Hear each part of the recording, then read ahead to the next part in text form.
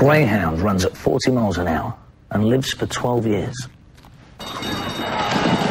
The pronghorn antelope runs at 60 miles an hour but lives for a mere 11 years. The cheetah, fastest animal on earth, lives just 10 years.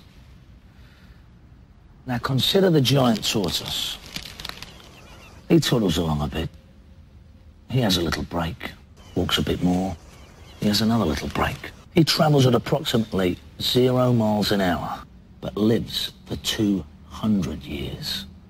Have lots of little breaks with new Kit Kat Kubes.